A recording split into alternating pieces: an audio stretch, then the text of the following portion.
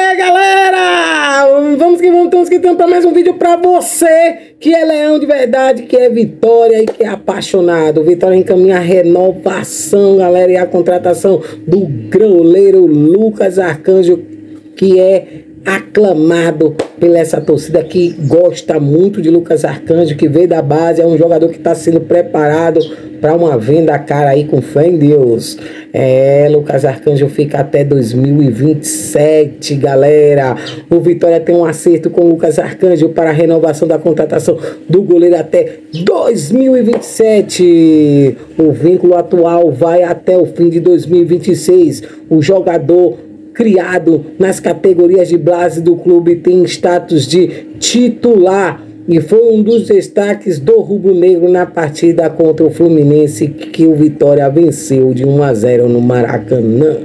É, galera, é, a tendência é que o clube e o jogador assinem os documentos nos próximos dias. Se confirmado, esse será o segunda renovação de Lucas Arcanjo no período de um ano.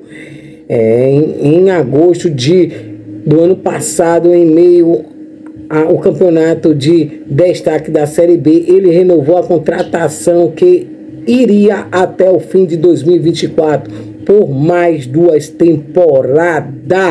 Aos 25 anos, o jogador veio da fábrica de talentos e tem o Vitória como o único clube na carreira.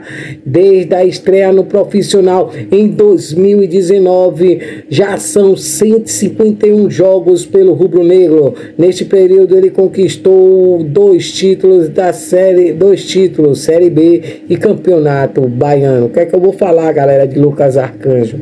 Muita gente me pergunta, Américo, quem é o titular da Série A? Muriel ou Arcanjo? Eu digo Muriel. Mas conquista vem, vai fazendo sua linha. E hoje tem um respeito, sempre tive um respeito muito grande por Arcanjo.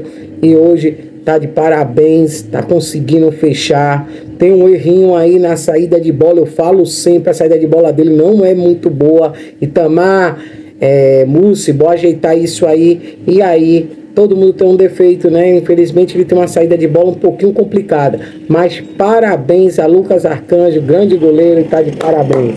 Valeu, Arcanjo! 2027. Valeu, meu filho. Curta, compartilhe, se inscreva aí. Tamo junto.